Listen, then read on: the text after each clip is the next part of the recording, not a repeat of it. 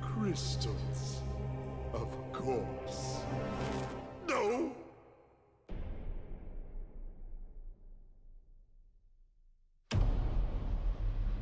But Dr. Cortex, to reach full power, we need not only your master crystal, but also the remaining 25 slave crystals from the surface.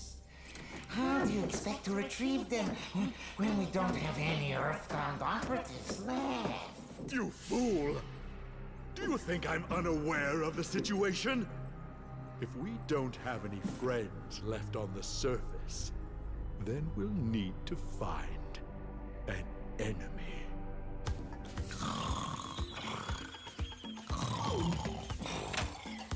Crash, crash,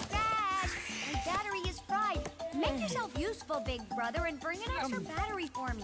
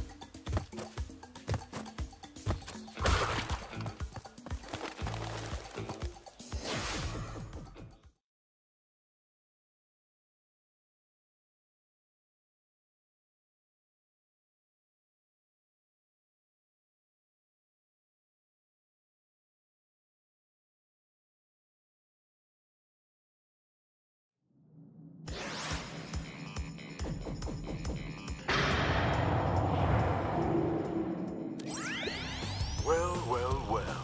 If it isn't Crash Bandicoot, welcome.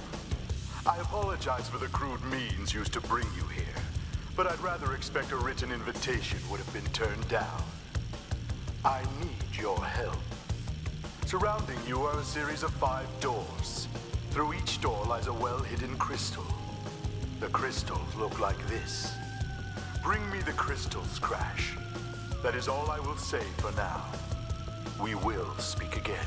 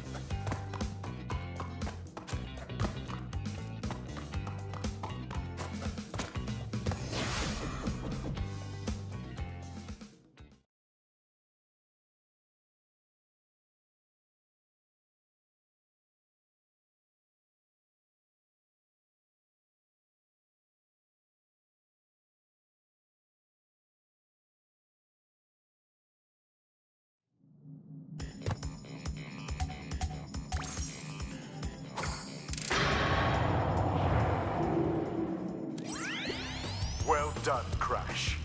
I knew I could rely on you. Now listen carefully. These holograms are hard to maintain. During the course of my intellectual pursuits, I have stumbled across a force that threatens to destroy the world. The crystals are the only means of containing it. The fate of the world is at stake. It is imperative, therefore, that you bring them to me. You there, Crash?